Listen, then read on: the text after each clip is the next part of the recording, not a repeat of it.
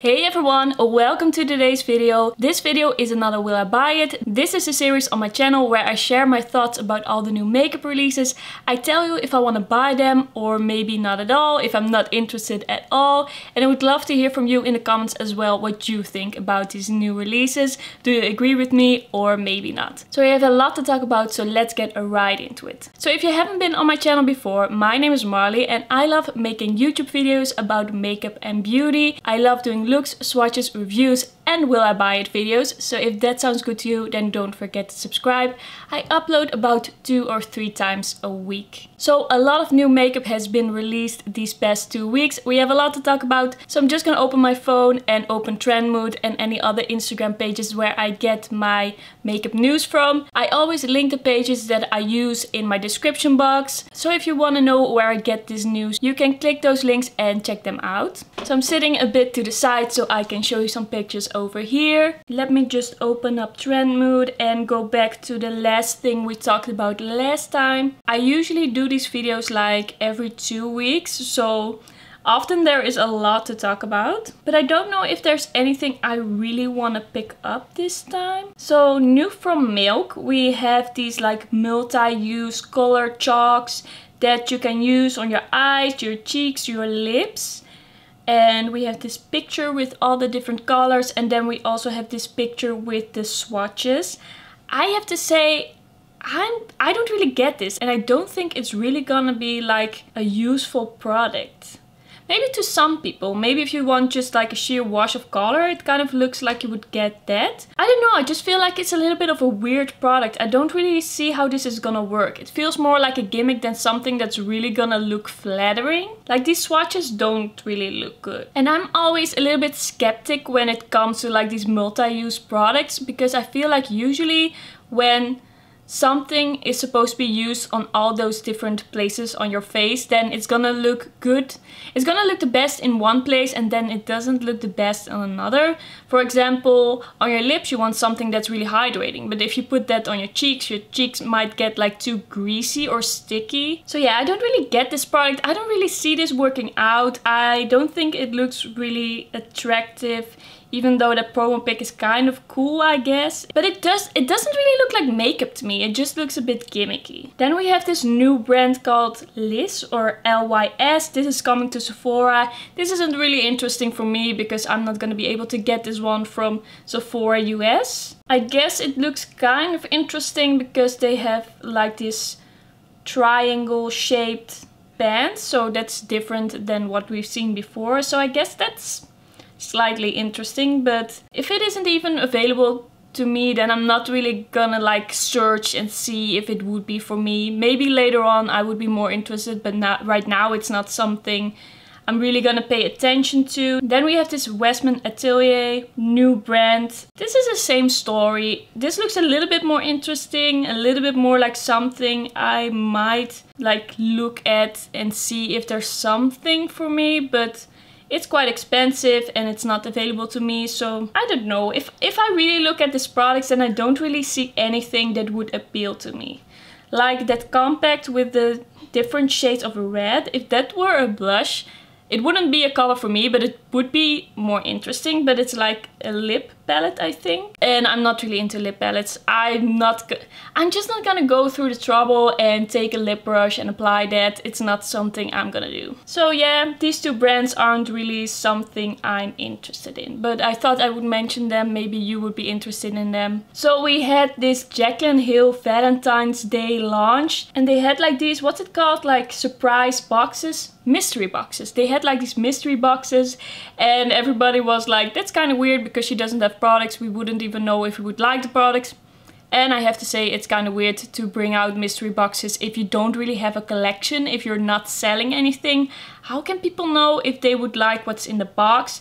So I think she ended up showing what was in it. I think she felt like there wasn't really another choice. And I think it was a weird choice to do their first launch in like over a year like this. I also heard that this sold out like before the official release time and a lot of people were angry about that. I'm personally like, I don't even care anymore. What are you expecting? I'm not gonna pay any attention to her brand. Maybe sometimes she would really like prove herself and redeem herself and show that she has really done something to better herself and not have all these crazy, shady, weird launches all the time. I'm just not really interested in something if I don't know if I can trust her. I don't trust her and that's why I'm also not interested in anything she does. And if people are still buying her stuff, I'm like, it's, it's at your own risk.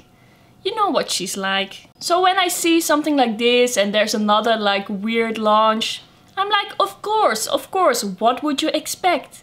Are you really surprised I'm not. So I'm not interested in her brand in general. I don't really know what she's doing or why everything is always going wrong with her. So yeah, not interested. Even if this were still available and it didn't sell out before the release time, it's not for me. I'm not really into her or her brand. Then we have this new KKW collection. We have two palettes. One is mauvey, one is more like honey, warm toned. When I saw this, like the first few seconds, I was like, oh, kind of interesting. Looks kind of nice. But I think that's more because of the way they took the pictures with all the props and stuff. But I feel like if you would take that away, then nothing would be left and it would be just the same palette that she has already released like 10 times over. There's nothing special about this. It just seems a little bit more special because of the way they took the pictures, but really she's just doing the same thing over and over and over and over again. And because of that, it kind of feels like a cash grab. She isn't really like creative. She isn't creating new stuff. She's just expecting to buy stuff because it's hers. So for a second there, I was like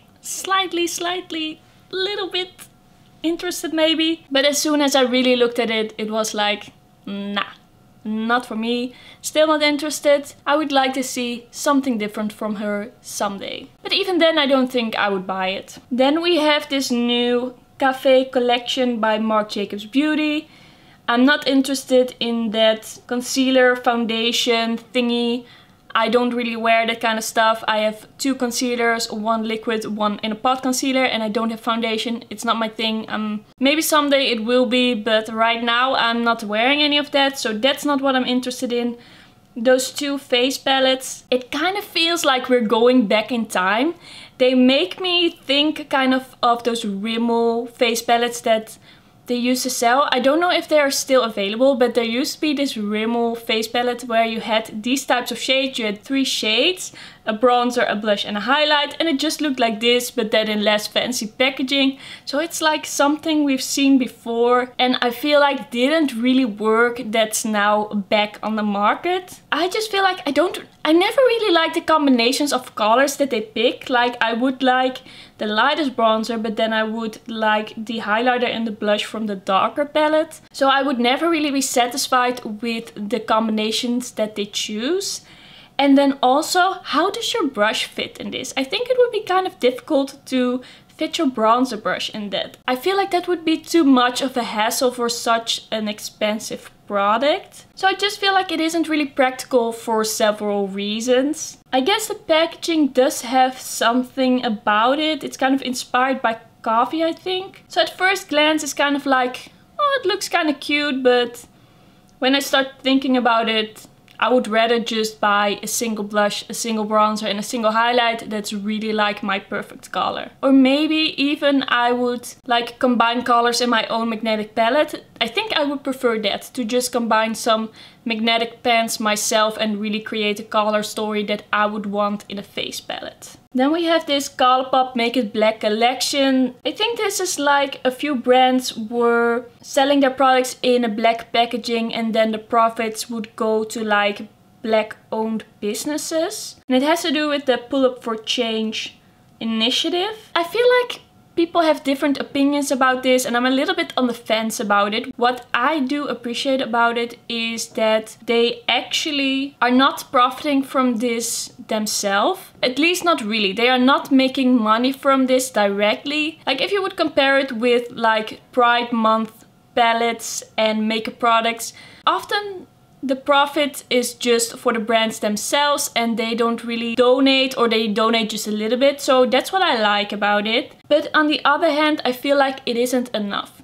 You have to really show people that you care and you really have to change change your ways and not just bring out a collection like this but really think in your own business, how you can change, how you can be more inclusive. I think what rubs people the wrong way with this is that Colourpop is always releasing really light eyeshadow palettes and really light cheek products and I heard that they discontinued their darker bronzers. So I feel like the black community still doesn't feel like they are heard. And I think that an initiative like this and bringing out products like this and donating profits, it has to go hand in hand with other changes within the business as well. And if you don't really do that, then it's like, then it just feels like it's a bit too little too late. So I'm a bit on the fence about it and I'm also not an expert. If you have any thoughts about this, please let me know. Right now I just feel like it's good, but it's not enough. Then we have these new blushes by Vieve. It's called the Sunset Blush. They are 23 pounds each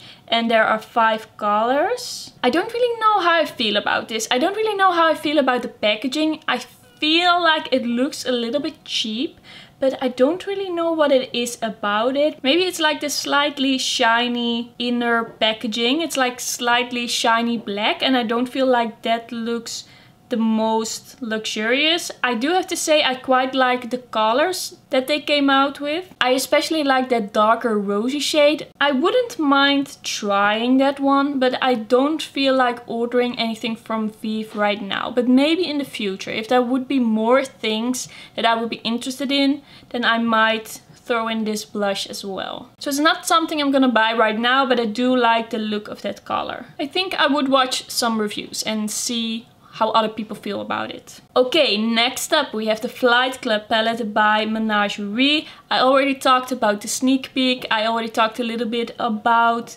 what I thought would be in here. So I already talked about the sneak peek and I was like slightly interested. But now they revealed the inside and it's gonna be available on the 26th of February. It's gonna be $38.95. I have to say, a lot of people were really like excited about this palette, but I'm a little bit disappointed. I just feel like a lot of the colors look a bit too similar. Like we have a lot of similar purples that are in a similar family, similar undertone, similar depth. Also when I look at those shimmers, they look a little bit similar. And then we also have these pinks and these nude shades. What personally really throws me off is that beige and that slightly darker beige that they put in the palette. I feel like that takes away from the color story. I didn't need that in a purple palette. I would rather have had that they made the whole palette purple or put in some other colors. Like maybe blue or green or anything. Anything else than these nudie light beiges. Maybe the shades are more interesting than they look in this prom promo picture. Maybe if they show some swatches you can see more of a difference between the shades. But I feel like this color story doesn't really pull me in. It doesn't really, it doesn't really give me what I would want. I feel like the Violet Ink palette was better curated. Like those colors really all worked together. They all had a place in the palette and it was just a small, very well curated purple palette. But they've discontinued that for this one. So yeah, in general, I'm just a little bit disappointed and I feel like they could have done more. They could have done more with this color story and I don't think I would buy it. I think they could have edited it down or maybe add some more variation. They could have done something with it. I do like the idea, I do think the packaging is really cute, I think it's gonna sell well and a lot of people are gonna like it, but for me personally it isn't it. But that's fine because I already told you that there are a lot of singles that I want to order from Menagerie and then I can just focus on the singles that I already wanted and don't have any stress about trying to get this palette. Then we have these new Melt Minis. So they have this mini eyeshadow stack which I don't get. I thought they were moving away from the stacks, but now we're getting back into the stacks and they are really bulky. Like the packaging for the eyeshadows, like one eyeshadow, if you take that apart, it looks so like thick and bulky. So I wouldn't be interested in that, especially because I'm not interested in the stack packaging. I don't think I would enjoy that. I would rather just have a small palette. I don't really know why they're going back to that. And then mini lipsticks. I know a lot of people are into mini lipsticks. They like mini lipsticks. They think it's more convenient because there's less product. I personally don't really like mini lipsticks because I feel like they're so fragile. At least I have one mini lipstick and I don't really like how like thin the lipstick itself is. I feel like it's just gonna break if I put too much pressure on it. It's not as like sturdy as a normal sized lipstick. So I'm not really interested in this. It just doesn't look appealing. I don't like the packaging of the eyeshadows and I don't like the colors and mini lipsticks is just not something I'm looking for right now. Maybe if they would get like really good reviews, I don't know what the price of this is. If they were like really cheap and they had really good reviews, maybe I would throw it in an order sometime. But right now, looking at this, I'm not interested. Then we have this Violet Voss I Love You Cherry Much eyeshadow palette. They are releasing quite a lot I feel like I'm talking about them like every episode. They're always coming out with new palettes. I just feel like this packaging looks really bad. It looks like they just did this with like paint or something. Like what is this design? Who made this? It looks really cheap. And then the inside, I feel like it's a little bit too redundant. I just feel like they could have edited this down. There didn't have to be that many shades in this palette. I do think the inside looks better than the outside, but in general this is not a color story that I would be interested in. Especially because it's like really warm nude and it's just too redundant. It's not it's not for me. Then Jaclyn Hill is coming to Ulta Beauty. This is also something I don't really get. Why do they think she's a trustworthy business partner? I don't know if I would take this risk if I were Ulta. And also she doesn't have any products, so it feels a little bit random. Like, where is this coming from all of a sudden? When is she launching all this makeup? But let's see, maybe she will surprise us. Then we have this new Chanel Pearl de Lumière. It's an illuminating blush powder with a touch of rosy champagne color and radiance to the complexion. This is gonna be $70. I feel like it's kind of like a light bronzer like a light shiny bronzer. I wouldn't really have a use for this. It's like in between things a little bit too much. Maybe maybe if it were a little bit more rosy, but I wouldn't personally spend $70 on a shiny blush bronzer hybrid product like this. So I'm not interested and I just feel like it's a product that doesn't really have a use. Maybe for some people with a specific skin tone, but I feel like for most people this isn't really gonna work. Then we have this new BFF collection by BH Cosmetics. There's a BFF eyeshadow palette and a BFF Snatch face palette and a lip duo and another lip duo. The colors of the face palettes and the lip duos don't really attract me, not really something for me. When I look at it, I'm like, yeah, fine, sure, it's nice, but not interested. And then the eyeshadow palette, there are some nice colors in here, I have to say. Some nice blues and greens, some nice red and yeah, some nice neutral tones. But I feel like it's a little bit too big and they could have edited it down. Maybe if there were less neutral shades that I would be more interested but looking at this, it's not really something I'm into right now. I would want it to be smaller or maybe more colorful. Then we have this new mascara by Nabla called the Vicious Mascara.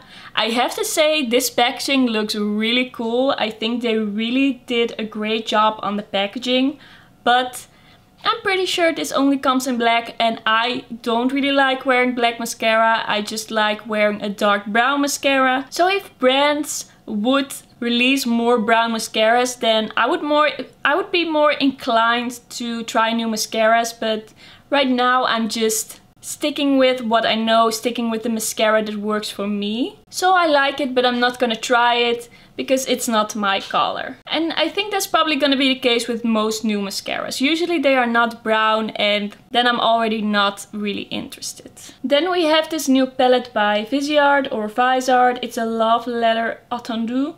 And this has some nice springy tones. It has some green, coral, some nudes, a bit of purple and like a light orange. I have to say it looks quite cute, but it isn't enough to really pull me in. I feel like it looks a bit similar to the Tiny Marvels palette by Sydney Grace. It just gives me those same vibes. It does give me like the spring vibes. It does look quite nice, but I feel like there just aren't enough shades in here that are really interesting or really special. So that's why I wouldn't pick it up. I do like the look of that green. Then we got a sneak peek of the Too Faced Teddy Bear collection. I have to say it looks kind of cute, but it isn't really something for me. The palette kind of makes me think of the Sigma Cor-de-Rosa, like it has a bit of those warm, rosy shades.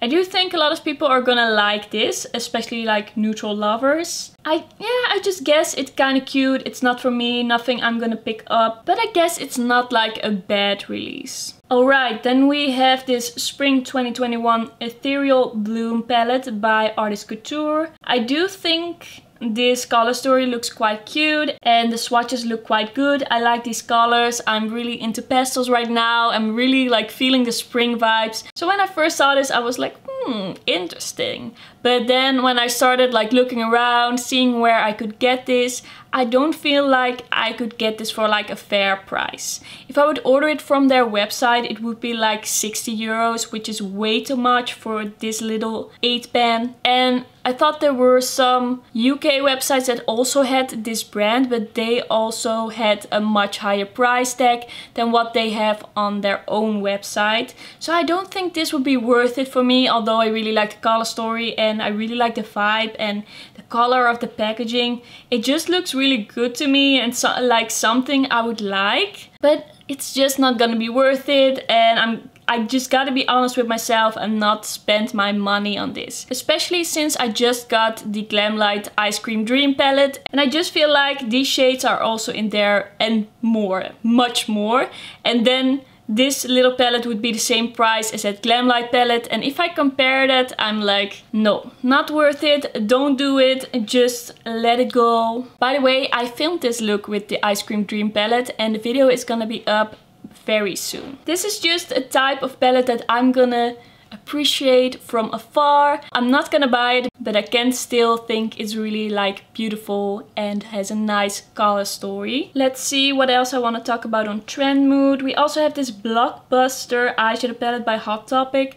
I don't know this brand. I don't really know about this palette. It looks a bit cheap. It looks a bit like toy makeup, like children makeup. And it's all matte and I'm not really into that. I wouldn't really buy an all matte palette. I would rather buy something with really interesting shimmers. So I get the idea, but it it just doesn't look appealing to me. Let's see if there's some indie makeup I still want to talk about. So there's this new palette coming out by Adept Cosmetics. It's called the Ninhydrin palette and it has a lot of special shimmery shades. At least that's how it looks and it will cost $68. So I've heard a lot of people rave about the Plain Jane palette and I do have to say it looks really interesting. This palette looks really interesting but I don't think I'm gonna buy such an expensive palette right now because $68 is already a lot, but then I would also have to pay quite high shipping and also taxes, so it would end up being like a $100.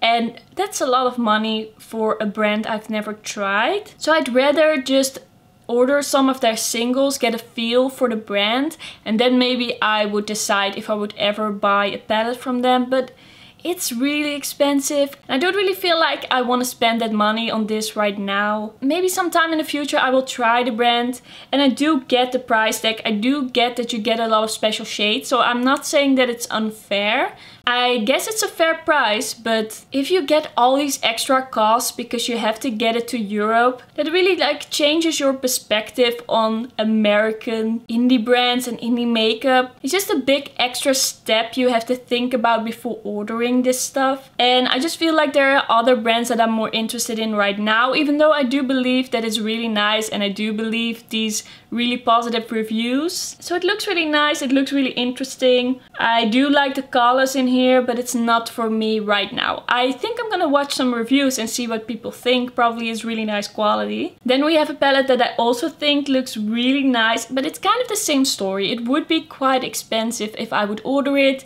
pay the high shipping and also have to pay these taxes that come with it. So this is a Glamonatrix Cosmetics U Beauty palette that they revealed. There are some really nice sparkly shades in here, some nice duochromes and some nice multi-chromes as well. I do really like this color story and the textures that are in here. Something about this palette makes me quite interested and kind of pulls me in.